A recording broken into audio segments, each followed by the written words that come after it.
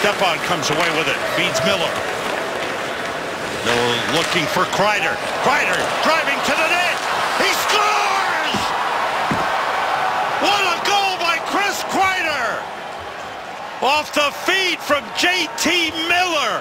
And the Rangers lead for the first time in the game. It's 3 to 2. By this line, again, most of the night, they have made things happen. Again, it starts with a defensive play. Anyone working at it, he'll find Miller. And you want to see a pass? This thing is brilliant.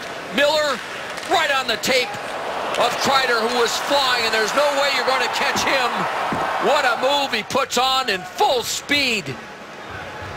Gorgeous goal to give the Rangers the lead. Joe, you asked Alain Vigneault before the game.